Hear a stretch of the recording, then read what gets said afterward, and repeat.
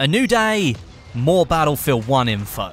This time it comes in the form of a new trailer slash development diary giving some information about the weapons that we'll be able to use. Yes, you've seen a lot of weapons already from the closed alpha, but Battlefield is known for its variety, and here we get to see a lot more of that. So let's get straight into it then. First up, we have the Bergmann MG15 light machine gun.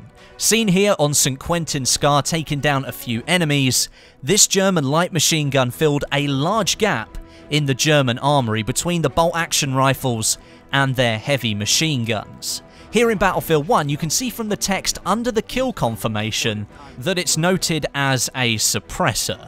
Now, I don't think that means it has a suppressor attached to it, Looking at this screenshot right now, I'm not entirely sure if there's a suppressor on the end there or not. I don't even know if that's historically accurate. What I think it means is that this weapon is built to suppress people. It is a suppressor in its own right.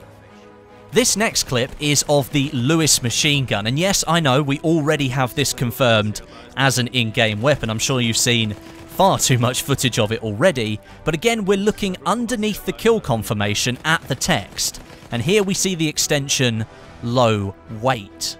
In the alpha, most of the weapon variants were simply denoted by two capital letters next to the weapon name, and that made it a little bit difficult at first glance to really know what scenarios the weapon was intended to be used in. Perhaps it was just simply a working method, it was only the alpha after all, and perhaps now moving forward, we'll see more of the weapons have accurate naming. Third snippet, and after a little bit of research, this weapon is the Auto 5. It's designed by John Browning, and that was in 1898, so an extremely old weapon.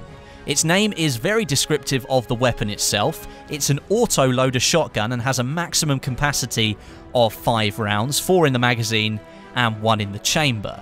It was actually the first successful shotgun of this design to ever be produced, and it saw use all the way through the war.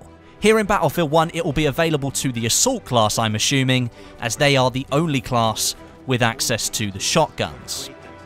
Another quick one here on some older weapons. We've got the MP18 SMG and the Rigotti rifle. They both get featured in this trailer, each with new variant names. The MP18 sees the trench variant being used. I'd associate the word trench with close quarters battle, so maybe that's why this variant has got a bayonet attached to it.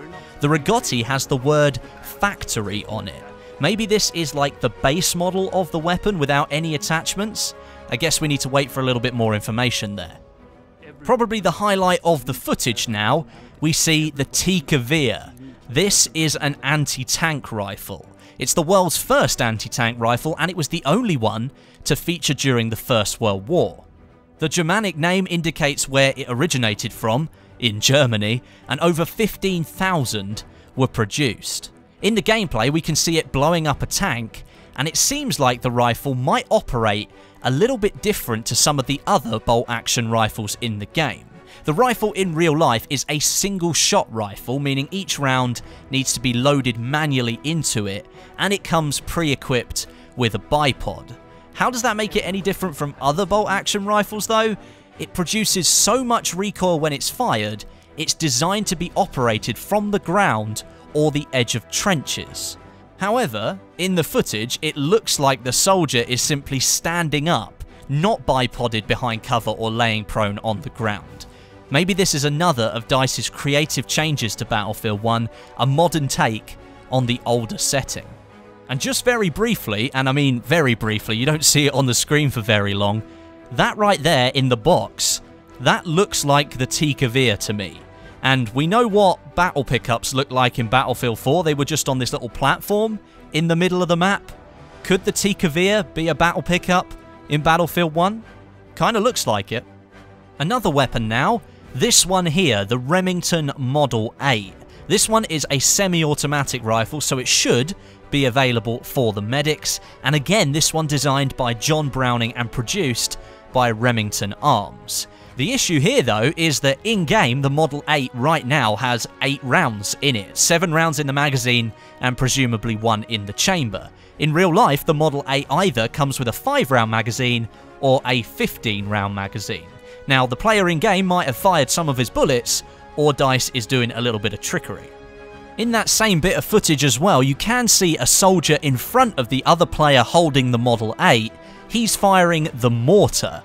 Now, this is a gadget I expected to be in Battlefield 1, but it's something that we hadn't seen so far. And the final bit, ah, oh, you've already missed it. Here's a screenshot, and now I'll slowly zoom in.